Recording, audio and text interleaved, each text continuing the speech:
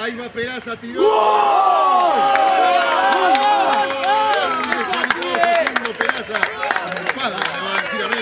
El golero a la izquierda, pelota a la derecha, 28 del primer tiempo. Y la cuenta, Juanico Facundo Peraza de penal, gana 1-0.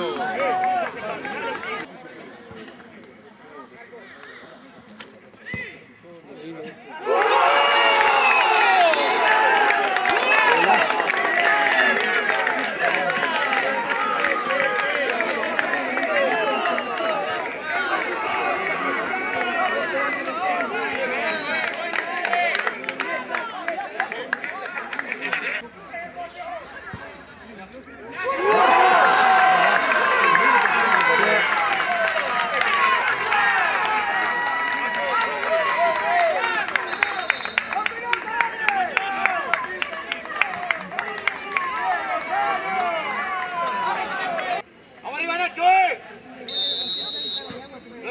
¡Vamos!